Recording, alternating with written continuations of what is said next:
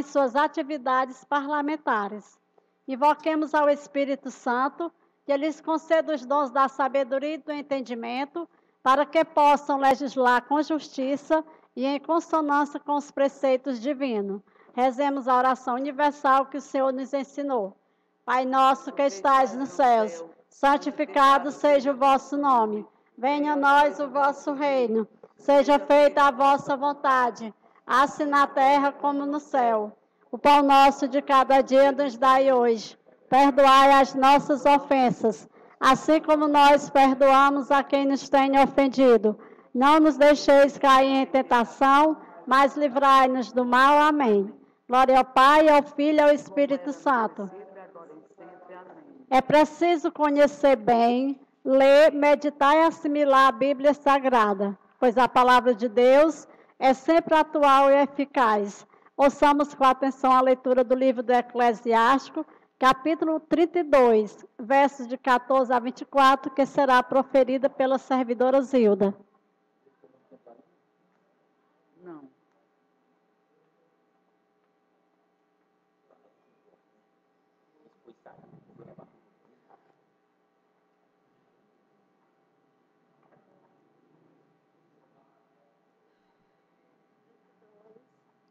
O temor do Senhor e a observância da lei. Aquele que teme ao Senhor aceitará a sua educação, e os que o buscam serão abençoados por ele. Aquele que busca a lei se enriquecerá dela, mas o que é falso só encontrará a ruína. Aqueles que temem ao Senhor terão um juízo justo e farão brilhar como uma luz as suas justas ações. O pecador foge da repreensão e encontra desculpas para apoiar os seus caprichos. O homem prudente não perde nenhuma ocasião para se instruir, o estranho e o soberbo não têm nenhum temor. Nada faças sem conselho e não te arrependerás depois de ter agido. Não andes pelo caminho da perdição e não te apressarás nas pedras. Não penses que não há caminhos sem obstáculos, e guarda-te até mesmo dos teus próprios filhos. Em tudo o que fizeres, age com segurança, pois nisso também está a observância dos mandamentos. Aquele que é fiel à lei atende aos seus preceitos, e o que confia no Senhor não carecerá de nada. Palavra do Senhor.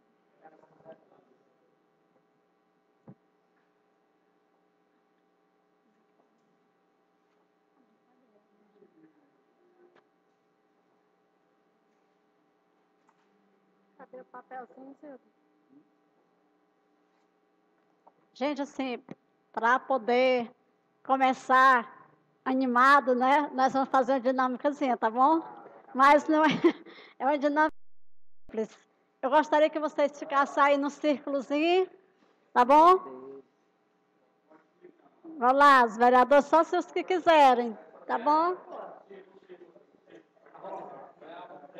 Não posso dizer, porque pegar o micro. Tem. disse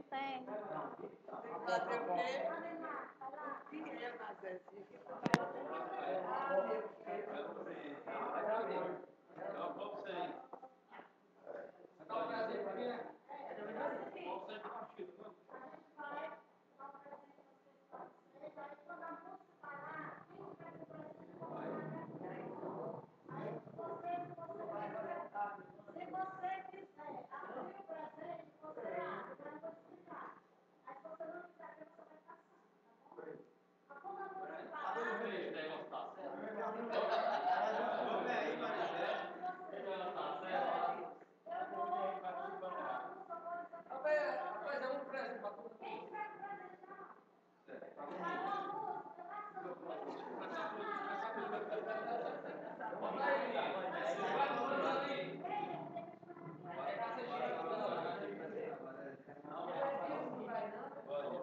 Não quer.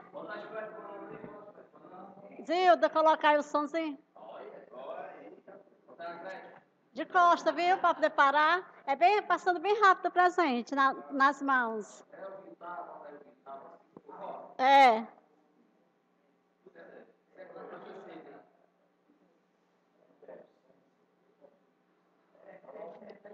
Bota mais alto, bota aí, aumenta o volume. Aumenta o volume. Mama, bakit mga isa mga okay. Zilda, não olha não. Fica de costas, Zilda. Zilda, fica de costas pra tu parar a música.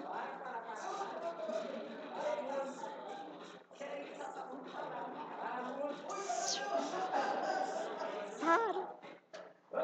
Pronto.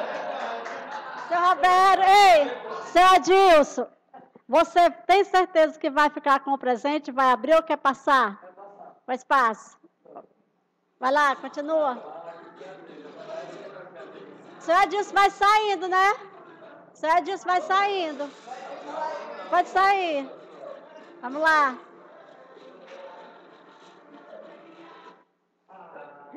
Seu Erasmo, é uma surpresa. Se você não acertar, tem que passar um mico muito, muito pesado. Você quer passar à frente ou vai pagar o mico? Vai abrir o presente? Passar, pois continue.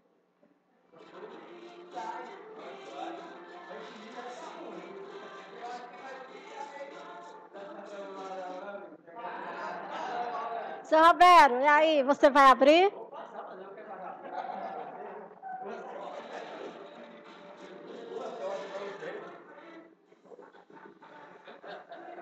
Do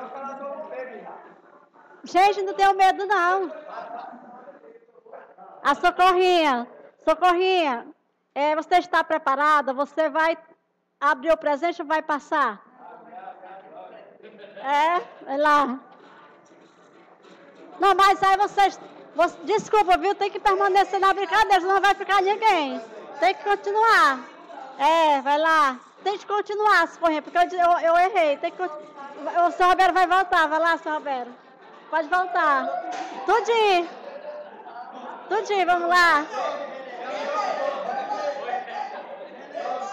Vamos lá, esse é o Erasmo. Volte para a brincadeira, por favor. E o Roberto e as corrinhas. É. Volta. Porque tem que permanecer, senão ficar só um, não dá certo. Estão desistindo, querem abrir. Vamos lá. Tem que abrir. Renê, foi você que parou com o presente? Você vai abrir? Você vai perguntar, você vai abrir? Tem um, um, um tem que abrir. Abra, pois pronto.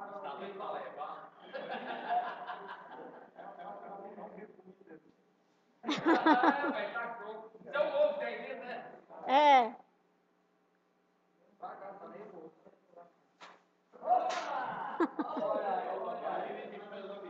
Pronto, olha, gente, é o, é, é o seguinte: a lição da brincadeira é que quando encaramos o desafio, podemos ter agradável surpresa. Viu? A gente fica fugindo do desafio da vida. Mas cada um queria passar porque eu perguntei que pagar mico. Aí vocês ficaram preocupados comigo, né? E não com o desafio da vida. Tá bom? Isso é uma brincadeira.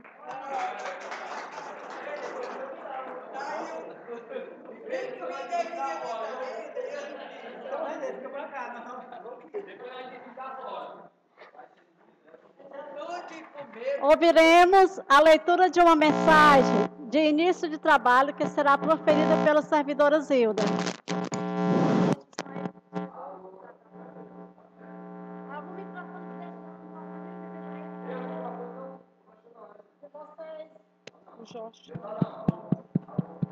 Eu tenho idade liga, não?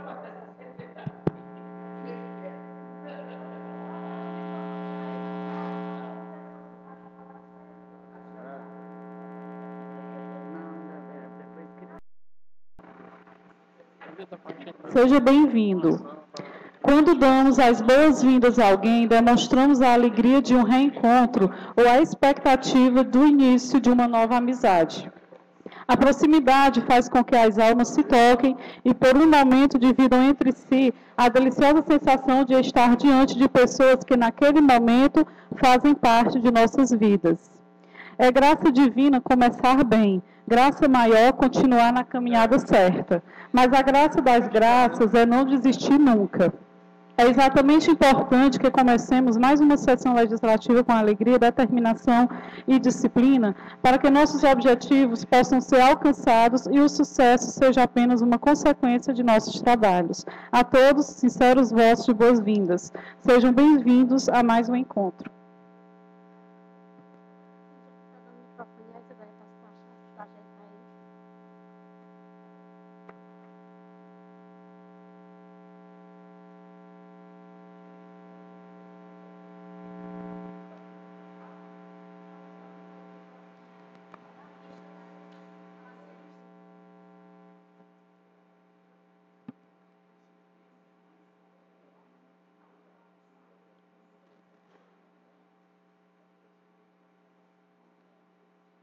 É.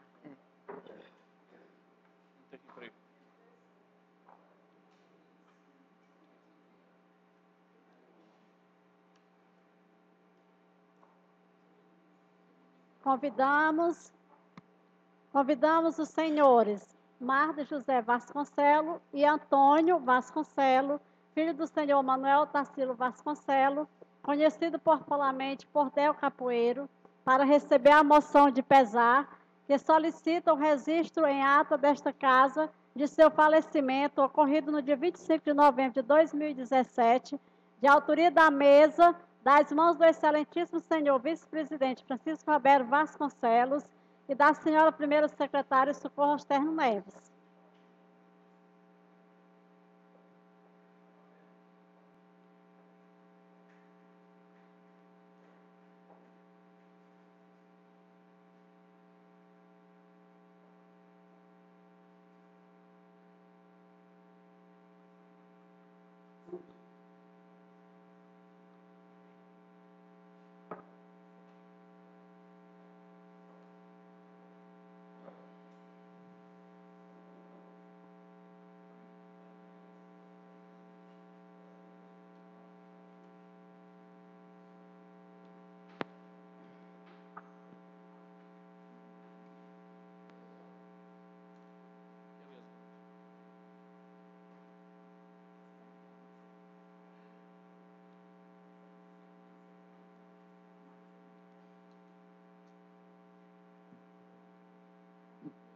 Marden, alguém de vocês quer fazer assim alguma, dar alguma palavrinha?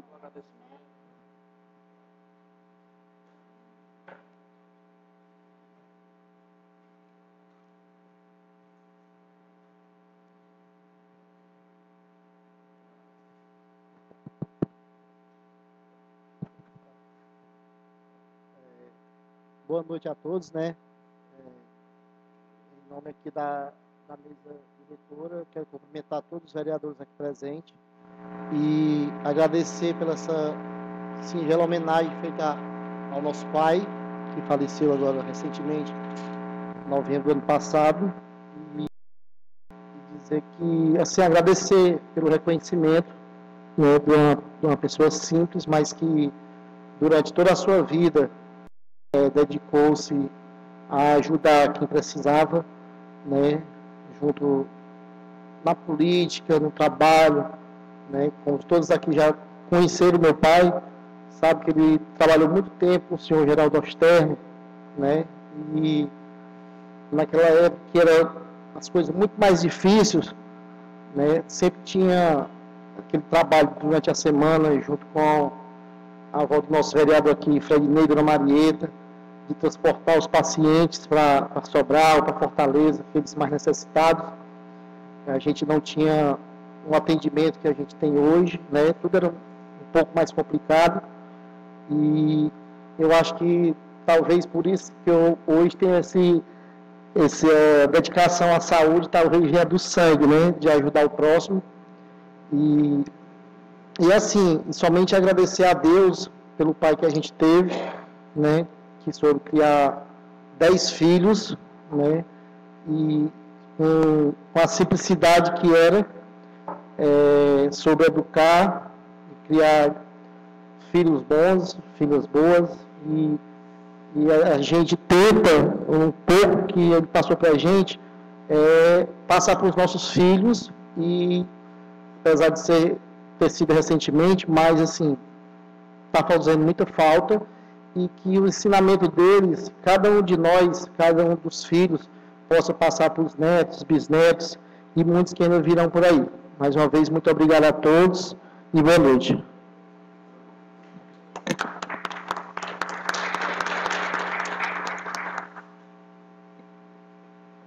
Anunciar dos presentes que neste momento a excelentíssima senhora presidente em exercício para a abertura dos, dos trabalhos, em virtude do vice-presidente estar presente, mas não está com condições de presidir. Boa tarde a todos aqui presentes e constatado o coro regimental, com a proteção de Deus, declaro aberta a presente sessão. Nos termos do artigo 80 do Regimento Interno, solicito da senhora segunda secretária a realização da chamada dos senhores vereadores para verificação de suas presenças.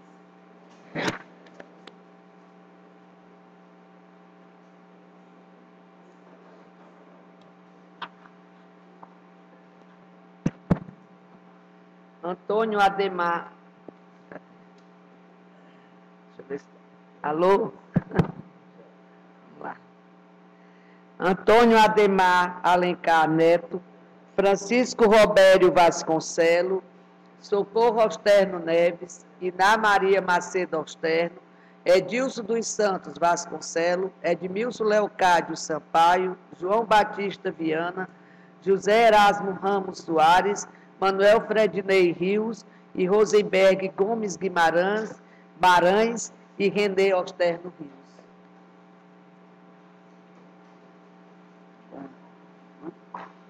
Constatado o coro regimental. Não, é. convido a senhora segunda secretária a proceder com a leitura das atas da sessão anterior e da sessão extraordinária, realizada no dia 11 de janeiro de 2018.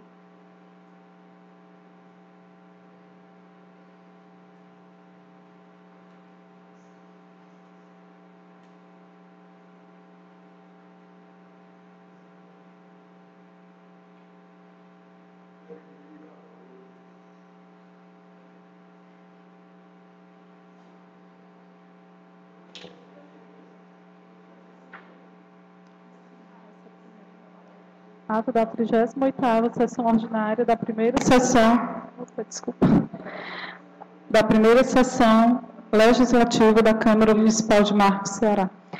Aos 11 dias do mês de dezembro do ano de 2017, às 17 horas, no plenário geral do Bastos Externo, na rua Rio Sem Número, realizou-se a 38ª sessão ordinária da primeira sessão legislativa, sob a presidência do excelentíssimo senhor presidente Antônio Ademar Alencar Neto, e secretariada pela senhora primeira secretária Socorro Externo Neves. Estiveram presentes os seguintes vereadores: Antônio Ademar Alencar Neto, presidente, Francisco Roberto Vasconcelos, vice-presidente, Socorro Externo Neves, primeira secretária, Iná Maria Macedo Externo, segunda secretária, Edilson dos Santos Vasconcelos, Edmilson Leocádio Sampaio, José Erasmo Ramos Soares, René Osterno Rios, Manuel Fredney Rios e Rosenberg Gomes Guimarães.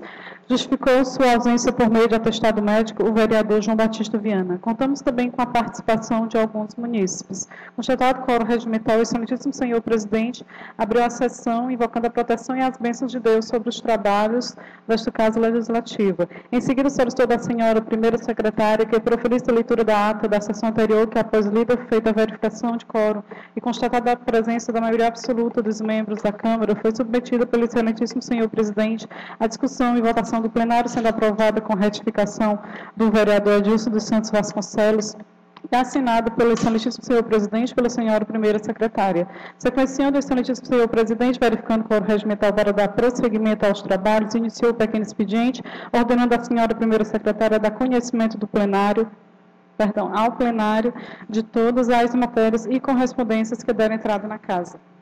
Na oportunidade, a senhora primeira secretária leu o ofício número 186/2017 de 7 de dezembro de 2017, oriundo da Secretaria Municipal de Educação, Cultura e Desporto, em resposta ao ofício número 199/2017 de 5 de dezembro desta Casa Legislativa, justificando sua ausência na sessão ordinária do dia 11 de dezembro de 2017 para a qual fora convocada e prestar, a prestar esclarecimentos aos edis e munícipes acerca da cobrança de eventuais diferenças em favor do município de Marco, a título de complementação da transferência dos recursos do Fundef e Fundeb segundo período, oportunamente solicitando um novo agendamento para a convocação.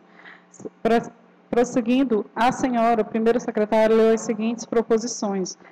Requerimento número 102, barra 2017, de 6 de dezembro, de autoria do vereador José Erasmo Ramos Soares, requerendo do Poder Executivo a disponibilização de um agente comunitário de saúde para o bairro Senorte, protocolizado sobre o número 1239, barra 17, em 6 de dezembro. Requerimento número 103, barra 2017, de 6 de dezembro, de autoria do vereador Edilson dos Santos Vasconcelos, requerendo do Poder Executivo implantação do projeto Areninha no distrito de Mucambo, protocolizado sob o número 1240-2017, em 6 de dezembro. Prosseguindo, o senhor presidente encaminhou os requerimentos números 102 e 103-2017 à ordem do dia da sessão.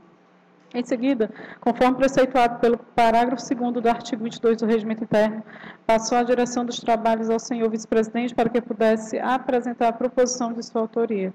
O senhor vice-presidente, na direção dos trabalhos, solicitou do senhor vereador Antônio Ademar Caneto que fizesse a leitura da matéria de sua autoria. Na oportunidade, o senhor vereador Antônio Ademar Caneto leu o requerimento número 104/2017 de 6 de dezembro, requerendo do Poder Executivo drenagem da lagoa localizada no bairro Ilhota, protocolizado sob o número 1241, em 6 de dezembro. Prosseguindo, o senhor vice-presidente encaminhou o referido requerimento à ordem do dia da sessão e, em seguida, passou a direção dos trabalhos ao excelentíssimo senhor presidente. Sequenciando, o excelentíssimo senhor presidente iniciou o grande expediente, convocando os senhores vereadores inscritos por ordem de chegada para uso da palavra da tribuna, conforme determinado pelo artigo 86 do Regimento Interno vereador Rosenberg Gomes Guimarães, iniciando seu discurso lamentando o não comparecimento da secretaria, da secretaria Municipal de Educação, Cultura e Desporto, a sessão reafirmou que o pagamento de recursos de precatórios do Fundef aos profissionais do magistério da Rede Pública Municipal de Ensino era um direito da classe, destacando que em muitos municípios o direito ao recebimento do recurso já havia sido instituído e que, tendo em vista que o Poder Executivo Municipal havia dado entrada em processo judicial no Tribunal Federal, perdão, no Tribunal Regional Federal no ano em curso, cujo acesso seria restrito ao procurador do município, os vereadores da oposição haviam solicitado da Casa Legislativa a convocação da senhora secretária. Assim, deixou o apelo para que a mesma se fizesse presente em oportunidade próxima. O senhor presidente Antônio Ademar Caneto fez a parte explicando que a Secretaria Municipal de Educação, Cultura e Desporto não pudera, não pudera estar presente, mas a casa poderia refazer a convocação para que se pudesse obter a resposta. O vereador orador em seguida, falando sobre a lei número 048/2009 de 17 de dezembro de 2009, que prevê a reestruturação do plano de carreira e remuneração dos profissionais do Magistério da Educação Básica Pública, relatou que em seu artigo 21 a mesma reserva que o